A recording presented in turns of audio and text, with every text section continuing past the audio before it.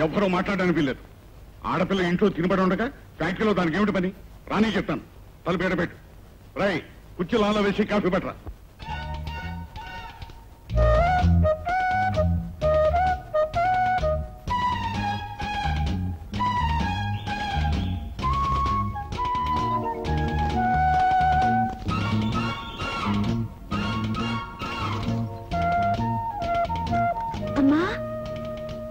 లోపల గడపెట్టమని నేనే చెప్పాను. ఇలా రా నీతో మాట్లాడాలి.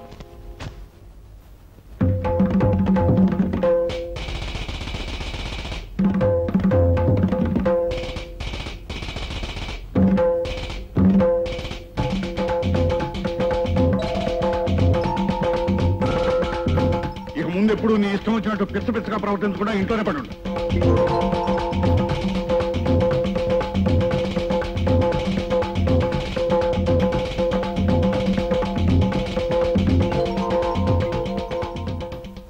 ఇచ్చిన డోసుతో నాలుగు రోజులు ఇల్లు కదలకుండా ఉంటుంది. అబ్బా అరిచి అరిచి గొంతు పడిపోయింది. ఒరేయ్ ఇంకో కాఫీ పడరా. ఏం బాబాయ్ బాగున్నా ఏం భీముడు కులాసానా ఏంటయ్యా ప్రతివాడు నన్ను చూసి ఉమ్మేస్తున్నారు? ఏం జరిగిందో చెప్పు ఉమ్మేయి. అది మానవుడితోనే చెప్పాలా? ఊరవతల గడ్డెమ్మల దగ్గరికి వెళ్ళి చూడు నీకే అర్థం అవుతుంది గడ్డి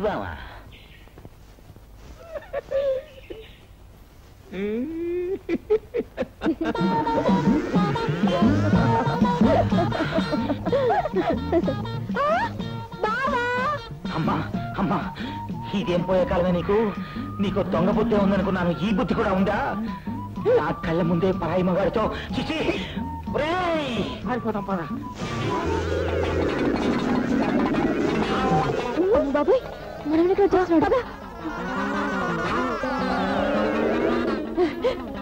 మిమ్మల్ని నరికి పోగలు పెడతాను ఆగరా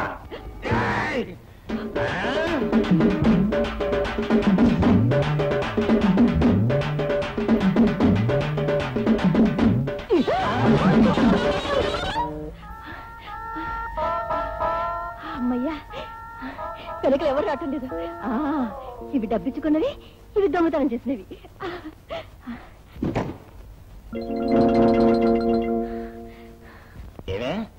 ఇంకా తగ్గలేదా ఆయాసం? పరిగెత్తానుగా. అందుకే ఆయాసం. పైగా చెప్తాను చూడు. సిగ్గు లేదా నీకు? ఎందుకు సిగ్గు? మిమ్మల్ని కట్టుకున్నాక నాకు ఏ ఒక్క కోరిక తీరలేదు. ఎంత మాట అన్నావే? రే సుపుత్ర. ఇలా.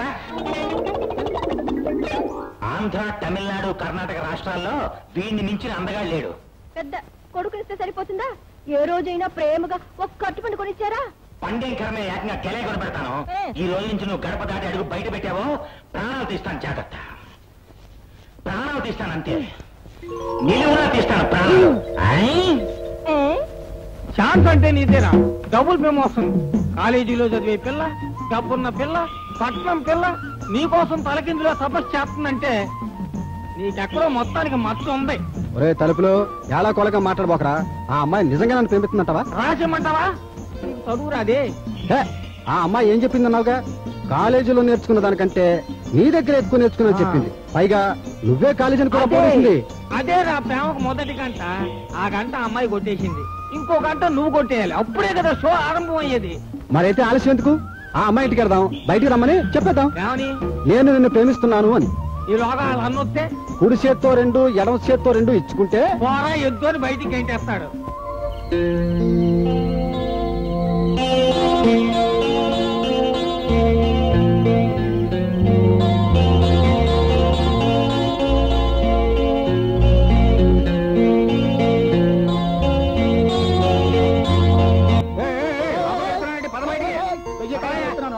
ఎంటేస్తాడు ఏమిటయ్యా ఇది? పదవయ్యా. ఏ రోజు మామూలు ఆ రోజు తీసుకుంటూ ఈ రోజు ఏమిటయ్యా? ఏకంగా దుకాణమే పదవయ్యా, బయటికి. అంటే ఇంకో పాత్ర తీసుకో. డబ్బు కోసం కదరా పింజారి? ఇవాళ కొత్త కలెక్టర్ గారు వస్తున్నారు ఆఫీస్కి. పద బయటికి. అది స్ట్రాంగ్ కాఫీ. నా పడక ఇవాళ ఆఫీస్ కొత్త కలెక్టర్ గారు వస్తున్నారు. నువ్వు కాఫీ అంటూ లోపలికి వచ్చావంటే కటకటాలని కానీ ముగించేస్తాను జాగ్రత్త. అదేంటి అంజి బాబు లోపల గుమస్తాలు పోయి బాకీ ఉన్నారు. బాకీ ఉన్నారా? బాకీ ఉంటే గేట్ దగ్గర నుంచి జోలేడు కూడా గాలి నా కొడక. బాబు ఇవాళ ఒక్కసారి.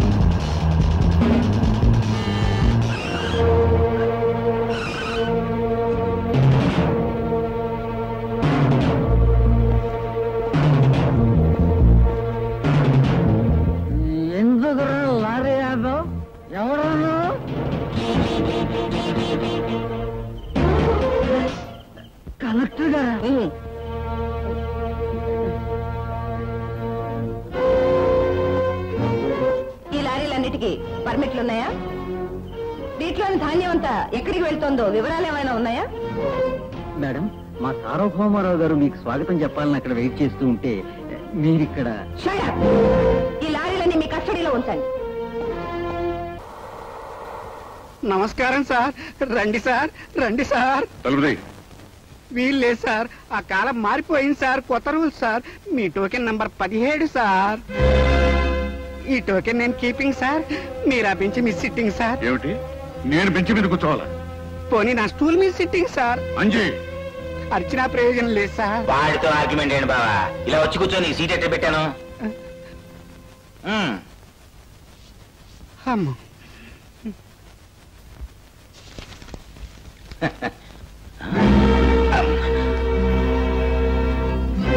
ఆ, రండి సార్ మీరు కాదు సార్ క్షమించండి సార్. టోకెన్ నెంబర్ పదహారు. ఆయన సార్. ఆ తర్వాత ఖచ్చితంగా మీరే సార్.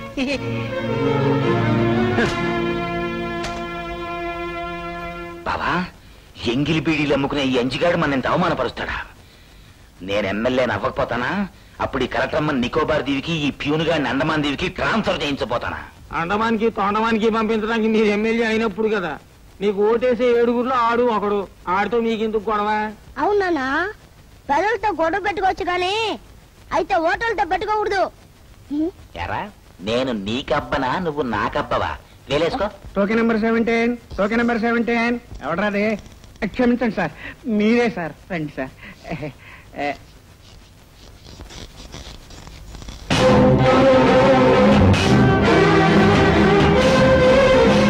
నేను కూడా మీలా ఓ ఐఏఎస్ నేను తలుచుకుంటే మీకంటే ఓ మెట్టు పైకెళ్ళి నేనేమిటో నిరూపించుకోగలను.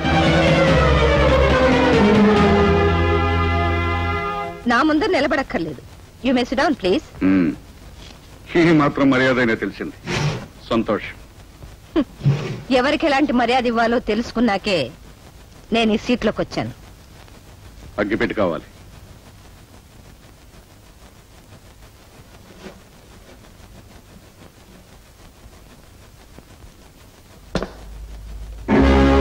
Try to respect my chair ఆ సీట్లోకి వచ్చిన ఎంతమంది నేను బయటికి పంపించాను నువ్వు కూర్చున్న ఆ సీట్ని అడుగు.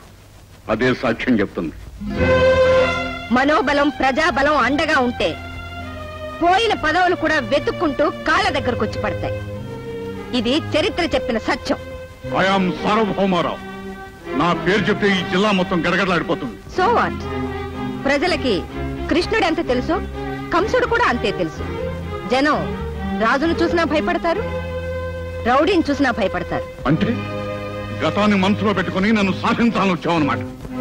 డబ్బు మదంతో ఆనాడు నువ్వే నన్ను వదిలిపెట్టి వెళ్ళిపోయావు. ఆ పాత నుంచి తేరుకుని నాకంటూ ఒక హోదాను వ్యక్తిత్వాన్ని పెంచుకుని ఈనాడు ఇవిడో ఒక పెద్ద మనిషిగా చలామణి అవుతున్నాను. సమాజంలో నాకున్న గౌరవాన్ని సంసారంలో ప్రశాంతతను భంగం చేయాలని ప్రయత్నించు. ఆనాడు డబ్బు నాకు లేదు. ఈనాడు నీకు ఎంత డబ్బు కావాలో విశ్రాంతిలో పారేస్తాను.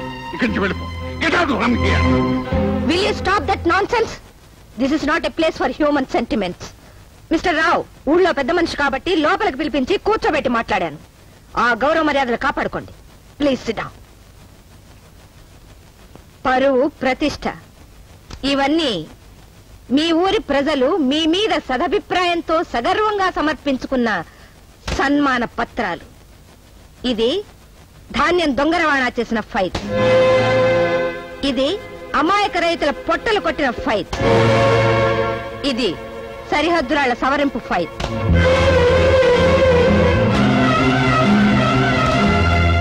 మీ పరువు ప్రతిష్టలు గౌరవ మర్యాదలు ఈ ఫైళ్ళలో ఎలా నిండిపోయాయో చూడండి. త్రాసుకున్న ముళ్ళు అటు ఇటు ఎంత ఊగినా అలసిపోయి ఒకే పక్క వాలటం జరగదు. అలాగే చట్టం కూడా చతికిలబడి కూర్చోదు. We will meet in the court Savitri! ఈ సావిత్రి ఆ రోజు ఈ సత్యవంతుడు ప్రాణాలు కాపాడుండకపోతే మీ పరువు మర్యాదలు ఏమై ఉండవు ఆలోచించారా ఏమండి?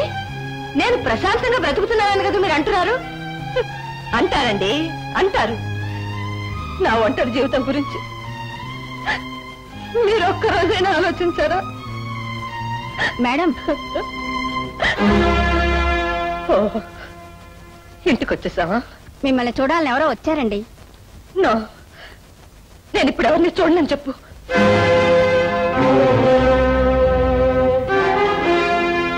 గోడ కొట్టిన బంతిలాగా తిరిగి వచ్చానేమిటా అని ఆలోచిస్తున్నావా? లేక ఆశ్చర్యపోతున్నావా? ఎగిరే గాలిపటం ఆకాశంలో ఎన్ని వేషాలు వేసినా చివరికి చేరేది భూమి మీదకి.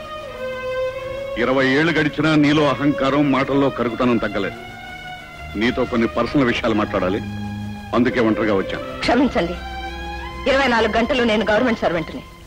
ఎలాగో వచ్చారు కాబట్టి కాఫీ తాగి వెళ్ళండి. లక్ష్మి రెండు కాఫీలు. ఆ ఒక దాంట్లో పంచదార తక్కువ. అది వీరికి. సావిత్రి ఇన్నాళ్ళు ఇక్కడికి వచ్చిన కలెక్టర్లందరినీ గడగడలాడించిన సార్వభౌమారావు ఆఫ్టర్ ఆల్ ఒక లేడీ కలెక్టర్ ముందు తల వంచాడు అంటే రేపు ఊళ్ళో నలుగురు మన ఇద్దరి మధ్య ఇంకేదో ఉందనుకుని మాట్లాడతాడు. అదే ఏమని? ఏది మాట్లాడినా తప్పే. ఇవాళ సమాజంలో మనం బతుకుతున్న దారులు వేరు. నేను వ్యాపారం చేస్తూ గౌరవంగా బతుకుతున్నాను. నువ్వు ఉద్యోగం చేస్తూ ఉన్నత స్థానంలో ఉన్నావు. ఆ, పైగా నాకు భార్య బిడ్డలు కూడా ఉన్నారు. మరి నాకు? హ్మ్. మా ఆయన ఎక్కడని చూస్తున్నారా?